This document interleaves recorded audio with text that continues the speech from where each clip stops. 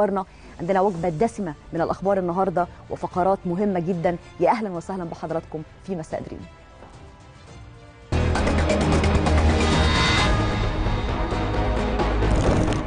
العديد من الأحداث شهدها الأسبوع الجاري سواء على الساحة المحلية أو الساحتين الإقليمية والدولية وكان من أبرزها السيسي يلتقي رئيس المجلس الأوروبي ومستشار النمسا ويستعرضون تطورات الأزمة الليبية والسورية.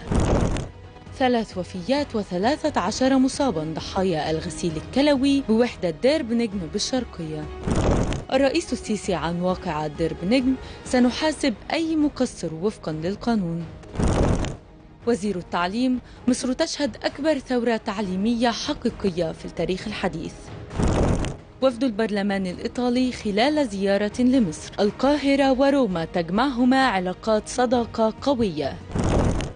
روسيا تحقق في حادث سقوط طائرة تسبب بمقتل 15 عسكريا في سوريا. إسرائيل ترسل وفدا عسكريا لموسكو لتوضيح ملابسات سقوط الطائرة. وبوتين لنتنياهو هجماتكم تنتهك سيادة سوريا. ترامب سنتخذ قريبا قرارا بشأن عودة القوات الأمريكية من سوريا فور القضاء على داعش.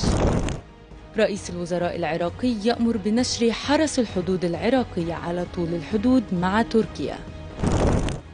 الإليزي ماكرو يلتقي ترامب وروحاني في نيويورك الأسبوع المقبل.